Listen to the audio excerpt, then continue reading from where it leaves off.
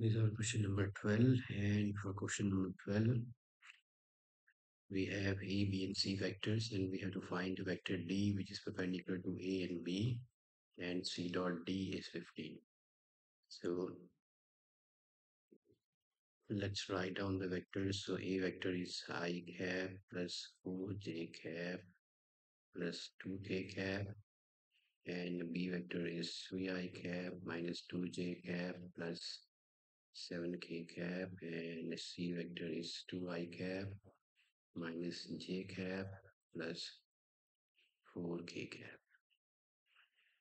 So we have to find it d vector. So let's say d vector is x i cap plus y j cap plus z k cap and it says that a sorry d vector is perpendicular to a. So if d vector is perpendicular to a so that means the dot product of a and d should be equal to 0 so our a vector is i cap plus 4j cap plus 2k cap. It's x i cap plus y j cap plus z k cap that's equal to 0 so it should be x plus 4y plus 2z that's equal to 0 let's say this is our equation 1 also d vector is perpendicular. This d vector is perpendicular to b vector. So that means xi cap. So if d vector is perpendicular to b vector so that means dot product of b and d should also be equal to 0 and our b vector is 3i cap minus 2j cap plus 7k cap. It's dot with d xi cap plus y j cap plus zk cap. That's equal to 0 so this should be 3x minus 2y plus 7z that's equal to 0 that's equation 2 and also c dot d. So c with d has a dot product equal to 15 and our c vector is 2i cap minus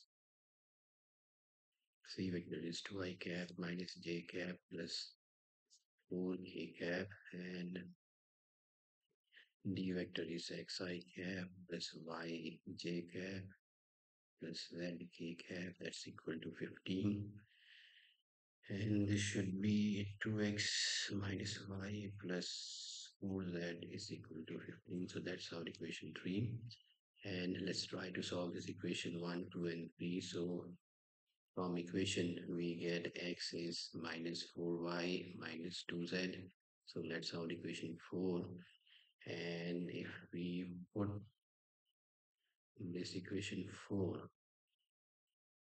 in 2 and 3 so that's what we are going to get. So our equation 2 becomes 3 into minus 4y minus 2z it's minus 2y plus 7z so it's 7z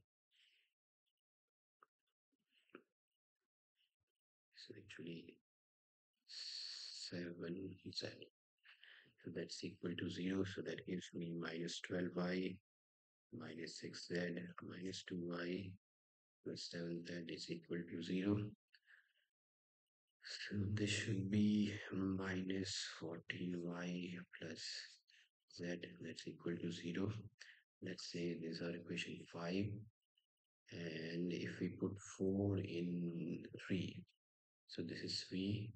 this gives 2 into minus 4y minus 2z minus y plus 4z is equal to 15 that's minus 8y minus 4z minus y plus 4z that's equal to 15 this gets cancelled.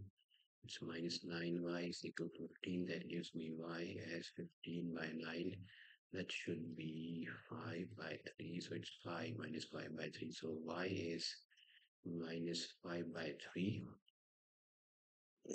and if I put in y here so this gives me minus 14 into minus 5 by 3 plus z that's 0 so that should be 14 5 is 70 by 3 plus z and z is minus 70 by 3 so we have got y we have got z and let's now try to get x. That was from 4 it's minus 4 into minus 5 into 3 minus 2 into z is minus 70 by 3 so that gives me 20 by 3 plus 140 by 3 that is 160 by 3 so that's the value of x.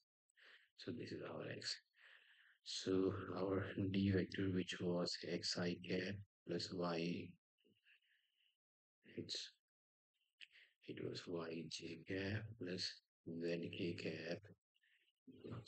This is 160 by 3 it's i cap y is minus 5 by 3 j cap.